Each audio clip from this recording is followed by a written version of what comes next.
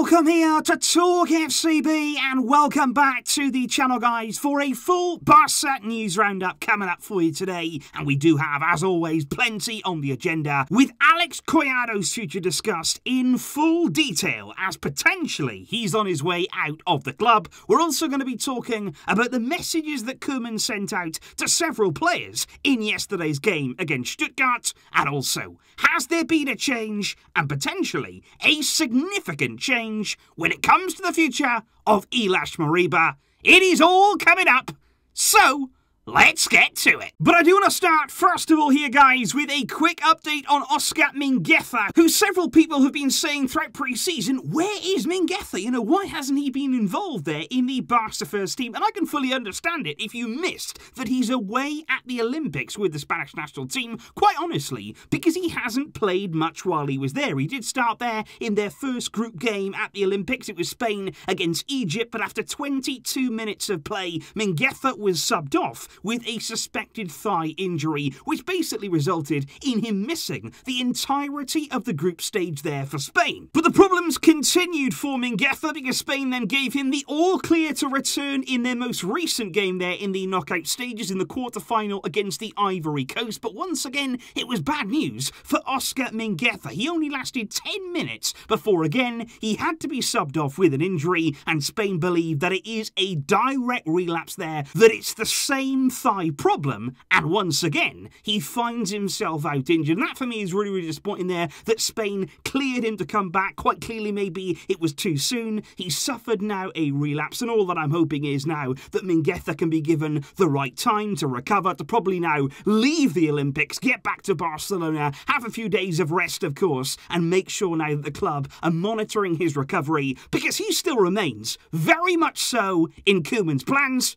ahead of the new season. However, one young man, though, who does not look set to feature under Ronald Koeman in the coming season is Alex Collado, because I think they're combined with the fact that Yusuf Demir played the full 90 minutes against Stuttgart, and obviously the fact as well that Collado stayed on the bench for the entirety of the game. I think already there, alarm bells were ringing. You were thinking there that Collado has got a real problem when it comes to his future at the club, and indeed it was confirmed this morning by Barcelona that Collado had left the team's training camp with permission by the club pending a resolution over his future. And Collado has always said that yes, he wants to succeed in the first team at Barca. He's had to wait very, very patiently for his chance, but he's always said that if he's going to stay, he wants to be playing. He wants to have opportunities. He wants to be trusted by the coach. And quite honestly, I don't feel as though Ronald Koeman there has that trust in Collado. And apparently it was actually Alex Collado himself that said to the club, you know what, maybe then I should go out on loan. Maybe I need to take it upon myself to say, okay, I've got to go away, I've got to play, I've got to prove myself elsewhere, rather than stay here and basically stay on the bench without any minutes. And according to multiple reports right now, it is going to be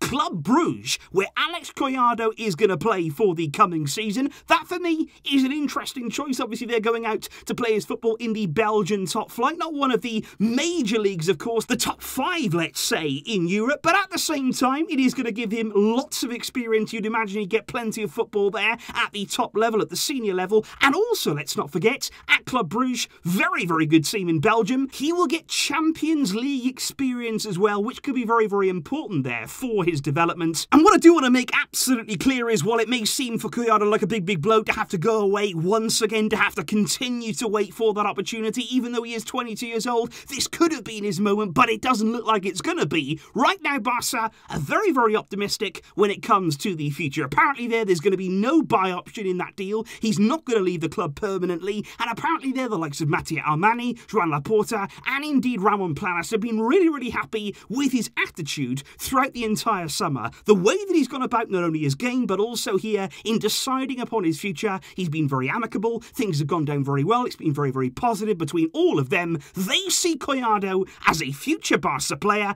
and of course, let's not forget that when Collado's loan deal is over, when he comes back to the club in the summer of 2022, which he will, what coach will be in charge?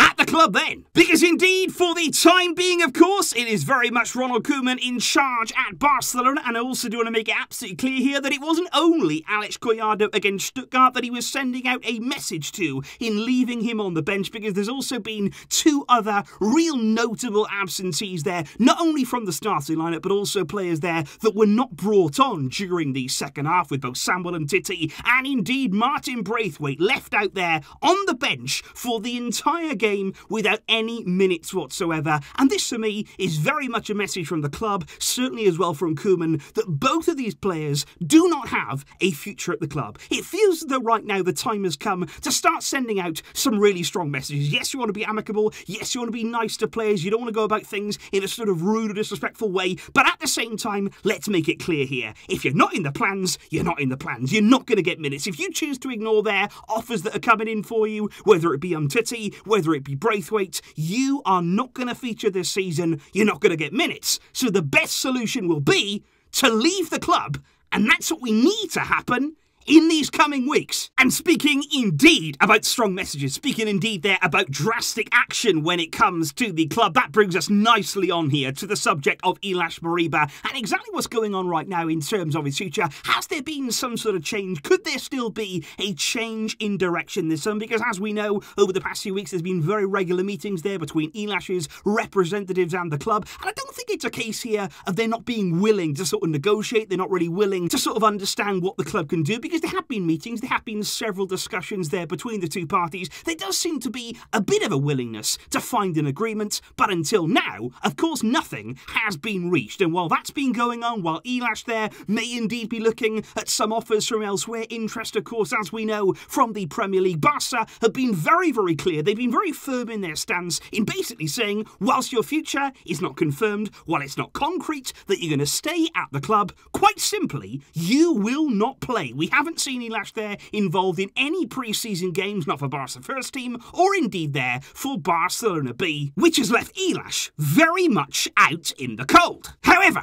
this is when it gets very interesting indeed, because that's where I say right now, has something changed? Because as you can see right here on the squad list for Barca B's upcoming match is going to be taking place there midweek next week. As you can see, Ilaix Moriba is now in the squad for Barca B, which is quite a significant change and could see him play, of course, his very first game for Barca again since the very end of last season. Now, reports say right now that no serious breakthrough as of yet has happened. There hasn't been anything drastic that's changed there in the boardroom. Barca are very, very clear on their side that they will not raise their offer. They have made an offer there to Ilaix's representatives. They feel that offer is something they can afford to do. We are very much acting right now within our means, and they will not raise that offer. But it is interesting to see now that he's included at Barca B, because I think what that seems to be is a bit of tension there being diffused by Barcelona. I think up until now, we have been very strict on Ilaix. We have been very, very firm. And quite honestly, I can agree with that. I can understand why the club are taking that stance. They need to assert here some dominance. They need to take control of the players here that we actually have some power over in terms of their contract situation. But I think right now they're just thinking, okay, we've got those talks going on. We are trying to meet. We're trying to sort of find some compromise between the two parties. We are now going to include you at Barca B level, so still, it's not where he wants to be. Ilaix Moriba doesn't really want to be playing at Barcelona B. He wants to be training with the first team. He wants to be playing with the first team. Still, he's not getting that yet. But as these negotiations go on, it's going to be very interesting to see if he features on Tuesday for Barca B, and if he does,